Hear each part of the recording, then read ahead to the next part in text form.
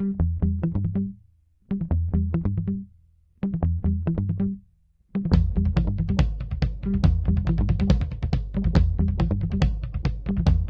week van de friet die jullie willen promoten. Ja, inderdaad, die, die loopt al de hele week. Uh, de week van de friet. Ik denk dat iedereen, net zoals elke Vlaming, wel trots is op zijn pak friet af en toe. Uh, en daarom gaan we gaan kijken als minister van Onroerend Erfgoed of dat we de plaats waar dat sommige van die frietkoten gevestigd zijn, dat is soms ook echt onroerend erfgoed. En we gaan nu een onderzoek starten of dat we zo enkel in Vlaanderen kunnen beschermen om die door te geven naar de toekomstige generaties. De locatie hier is natuurlijk uitstekend. Uh, en ik ben ook heel blij en ik hoop dat we snel, werk kunnen maken van het vleeshuis zelf ook uh, te renoveren. Uh, maar het zijn zo'n typische plaatsjes die we willen gaan kijken. Die zijn op nog sommige plaatsen in Vlaanderen.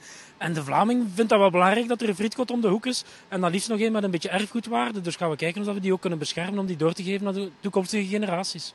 Je bent inderdaad ook een frieteter, zou ik maar zeggen. En ik kon het toch niet laten om toch een keer een frietje te bakken. Ja, inderdaad. En ik moet daar een beetje mee opletten om daar altijd trots op te zijn. Want het is ook natuurlijk... Allez, de keer dat je echt overdrijft, wordt het ook wel ongezond. Maar ik ben inderdaad een hele grote liefhebber van frietjes. Uh, tot nou, toch wel 7 à 10 keer per week, denk ik. Ja. Wat ik ook mij eigenlijk opvalt, deze mensen staan hier nu, die huisuren of die plaatsuren zijn zeer duur. Uh, is moeilijk nog haalbaar. Kunnen we dat nog eigenlijk toelaten als we dat als erfgoed willen laten doorgaan? Want België is gekend, bier, chocolade en de Belgische friet.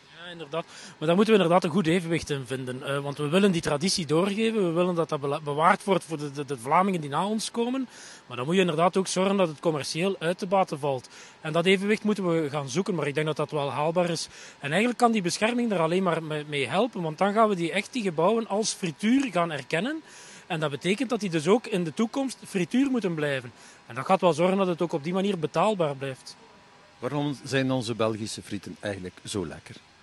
Ik denk dat wij een hele mooie traditie hebben in Vlaanderen. Hoor. Dat die effectief die, ja, de beste methode om die te bakken. Ik weet dat er ook een Europese discussie is geweest. Maar wij hebben een hele typische manier waarbij dat die ook op lagere temperaturen worden voorgebakken. En dat zorgt dat wij een uitmuntende kwaliteit hebben die je trouwens nergens ter wereld terugvindt.